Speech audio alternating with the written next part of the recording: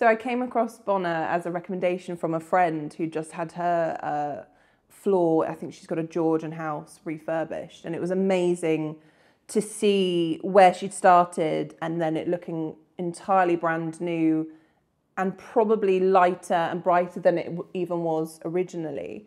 Um, I come across a lot of different brands and things within my work, and I always see that there's like a catch. There's always something that someone's not pleased about, but it's okay because because this aspect of it is fine. And I just want I knew that if we were going to do this, a big upheaval, um, you know, an outlay of cost, I wanted to know that it was going to be um, something that was going to last us a long time. And I looked at Bona and their kind of eco credentials and the way they're kind of investing in thinking about not always going new, kind of valuing something you already have and giving it a new lease of life.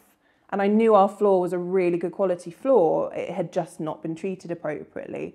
So the idea of someone knowing how to give us something with for longevity and having that value in um, making what you have work, I, I really liked those kind of morals and that direction.